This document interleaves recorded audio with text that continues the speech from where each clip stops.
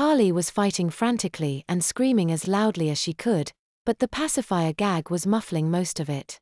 It couldn't end like this. She was about to get adopted for real. Why did she even agree to any of this? Excuse me, what are you doing? A familiar voice said. The woman whipped around. I was just about to take this unattended little, the woman said matter of factly. She happens to be my little, Crystal said indignantly. She looked furious and had her face contorted into a snarl. Carly had never seen her that way. The woman backed away to her cart where her own captive little awaited. She then turned her nose up and gave a humph, before slowly pushing her cart down the aisle.